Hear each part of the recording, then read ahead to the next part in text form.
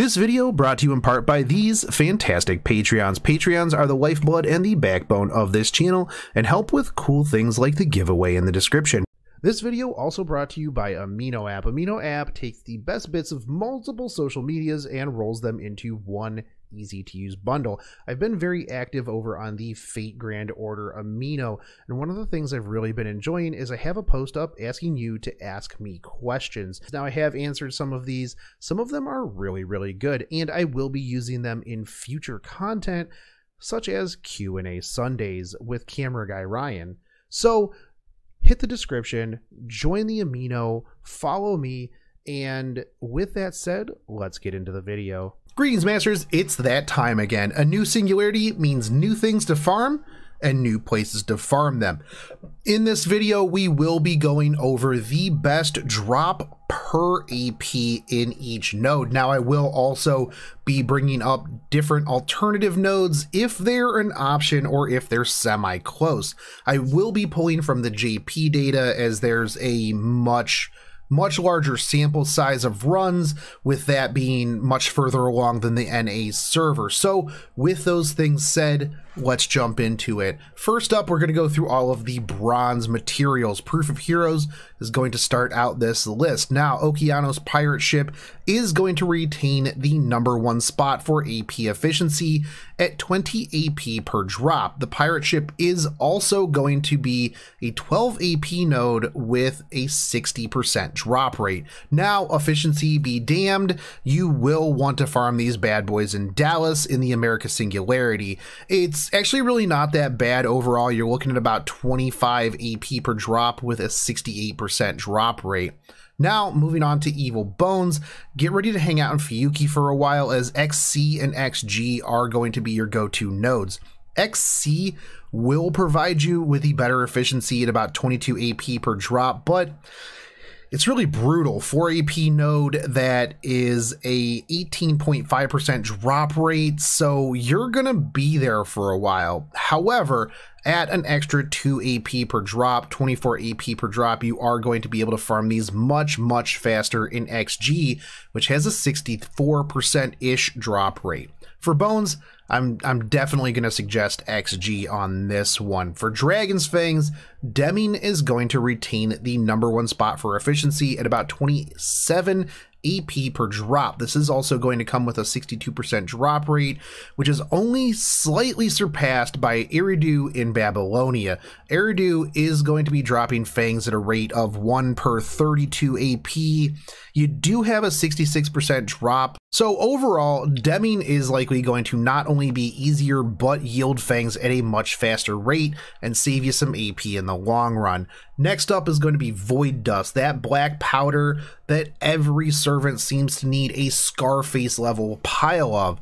America, Charlotte, both number one in efficiency and drop rate, 31 AP per drop, about 64% chance to drop it. Now, moving on to chains, Camelot is going to still be the go-to for chains. Again, this is going to be an easy one, both the most efficient and the highest drop chance goes to the Wastelands, 29 AP per drop, and a 64% chance to drop them. This is going to make this your best place by a long shot when it comes to farming these clanky boys. Poison Stingers, this one is going to be in Babylonian. Field of Reeds will be the spot at 34 AP per drop and a 62% drop rate.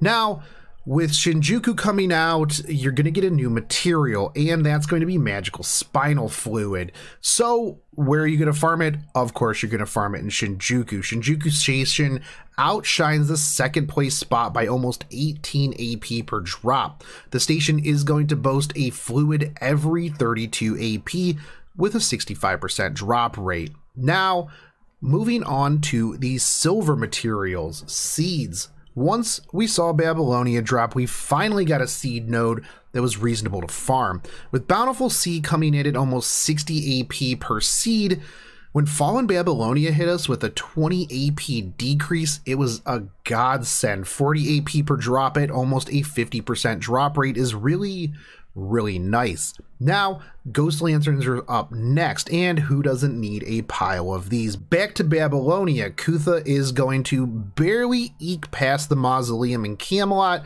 at 52 AP per drop versus the 59 needed to clear the Mausoleum. Kutha has a 40% drop rate, making it pretty easy to farm these out. Octuplet crystals, Holy City, yeah, Camelot's Holy City is going to be your best bet by far in the current landscape. It does get a lot better in the future though. For now, you are looking at 73 AP per drop and a 27% drop rate. It's not really all that great. Like, at all, but it's better than Okeanos' 2 current C at 126 AP per drop. Snake Jewels, these are similar to Octuplet Crystals in that we do get a better place in the future, but for now, we're just here to suffer. The Bog in Babylonia is going to be around 79 AP per drop at a drop rate of 26%. Your next best bet is back in Okeanos at the Sunken Rock Seas if you want to drop around 107 AP just to get a jewel. Now, Phoenix Feathers.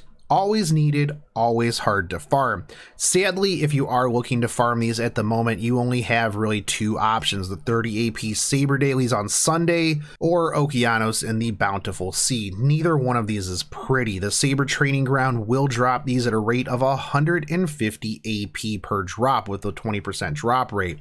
Bountiful Sea you can do these anytime you want, but at 181 AP investment per feathers, that's going to get a yikes from me, dog.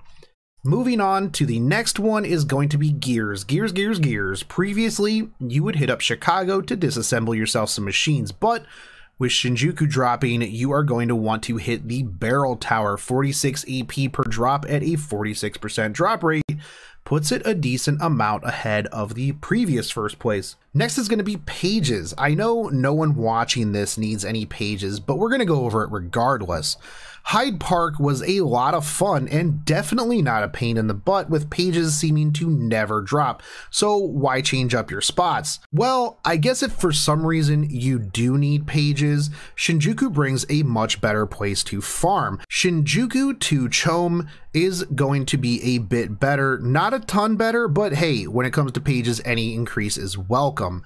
68 AP per drop with 31% drop rate is going to look really nice next to the old Hyde Park at 74 AP per drop and a 27% drop rate.